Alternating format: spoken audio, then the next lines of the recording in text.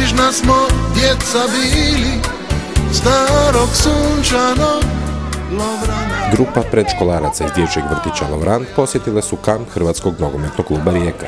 Dvadesetak veselih djevojčica i dječaka imali su priliku vidjeti unutrašnje stadiona i upoznati se sa svim aspektima rada jednog profesionalnog nogometnog kluba. Obilazak je počeo u pres centru gdje su se djeca upoznala s pešekanom, a odmah ih je dočekalo jedno lijepo iznenađenje. Naime, svako prisutno dijete dobilo je svoju člansku iskaznicu te time postalo članom Hrvatskog nogometnog kluba Rijeka. Poznato je kako su Lovranci vjerni navijači Rijeke. Tako je i među ovim mališanima bilo puno onih koji redovito idu na Rijekine utakmice, a jedna od odgajateljica nam se pohvalila kako Rijeku prati čak i na gostovanjima. Nakon uvodne riječi i slikanja u pres centru, djeca su kroz tunel izašla na teren gdje se veselje nastavilo.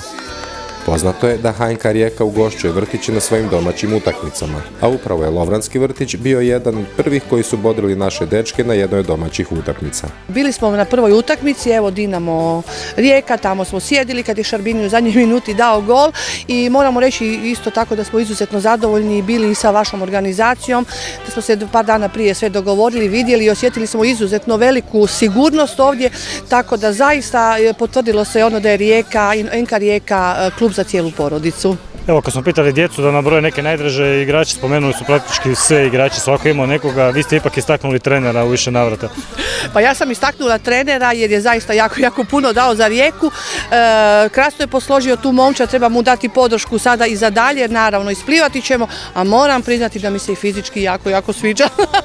Nije gospođa Brozović jedina obožavateljica trenera Keka. Djeca su spustivši se na teren prvo iskoristila priliku sjesti na Kekovo mjesto otkud rijekin strateg vodi domaće utakmice.